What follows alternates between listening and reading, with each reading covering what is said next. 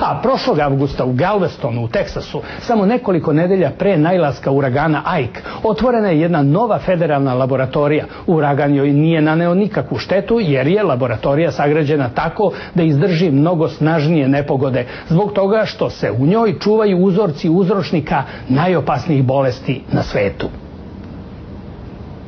Ovi lekari u Galvestonu vode telekonferenciju sa kolegom u Africi koji pregleda pacijenta obolelog od redke bolesti. Nove bolesti koje se neprestano pojavljuju obično su varijante već poznatih, ali za svaki slučaj uzorci virusa i bakterija šalju se ovde u Galveston. Nacionalna laboratorija Galveston smeštena je u zgradi površine 52.000 kvadratnih metara u kompleksu medicinskog ogranka Univerziteta države Teksas. Zamenik direktora James LeDuc kaže da je osoblje spremno za svaku eventualnost. Our faculty are experts in a number of different diseases. Naši članovi su stručnjaci za razne bolesti, kugu, antraks, virusne bolesti, od običnih kao što je grip do denge i zarazne hemoragične groznice. Dengue and some of the viral hemorrhagic fevers. U laboratoriji se čuva zbirka većine patogena, a njeni stručnjaci sarađuju sa mnogim kolegama u svetu na identifikaciji i proučavanju novih uzročnika.